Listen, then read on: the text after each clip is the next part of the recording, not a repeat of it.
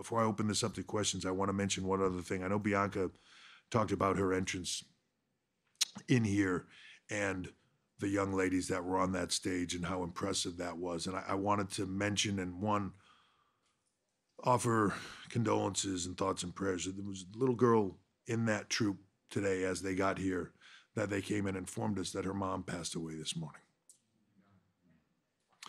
It's the little girl that was the contortionist that Bianca danced with. And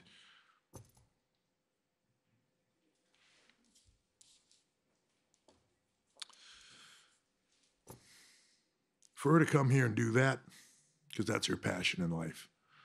For her to come and do that because she didn't want to let this opportunity slip by. For her to never miss a beat, to see her dance partners swarm around her.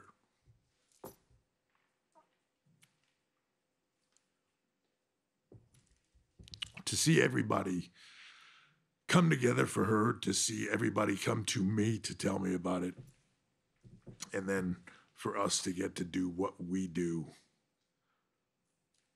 which is give her that opportunity in that moment with Bianca and create a moment for her on the worst day of her life that she'll never forget.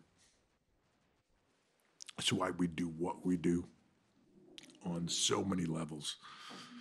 So I just want to say how cool that was from Bianca and uh, just offer Amina our condolences and hope that tomorrow's a better day.